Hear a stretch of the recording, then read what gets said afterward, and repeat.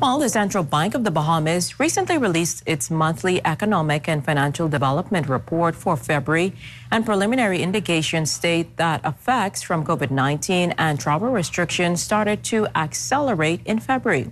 Central Bank Governor John Rolle spoke about how this will affect the economy on the heels of the devastation felt from Hurricane Dorian.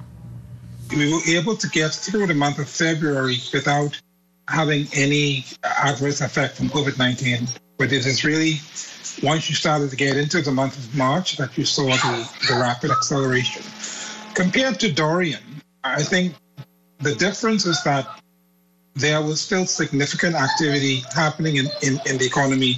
Uh, islands outside of Abaco and Grand Bahama that were hurt by Dorian, but were not hurt by Dorian, those islands were doing exceptionally well. They were still growing year on year in terms of their tourism tourism activities. With with COVID nineteen, those aspects of our economy are also on hold. So it, it's it's from a, a partial shutdown where you had the strength elsewhere in the Bahamas that were reasonably offsetting when you added in the construction activity and foreign investment to a complete shutdown because everything now has to, to be put on hold until we've gotten over the, the worst of the virus. Well, Governor Rolle was asked if central banks from across the region have consulted with the Bahamas on the COVID 19 pandemic.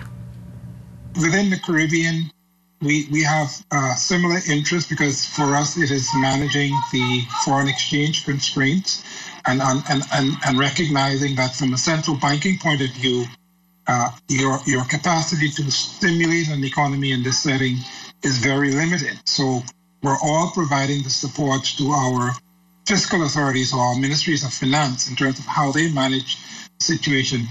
Globally, uh, it's similar, but looking at it from a global perspective, we're also taking lessons from each other in terms of the kinds of actions that central banks can take, particularly in terms of managing the interaction with the banking systems and how the banks have greater flexibility to manage difficulties in the, the, the lending side of their business. So generally, you see a trend towards banks providing customers with the forbearance around pushing back the repayment on loans.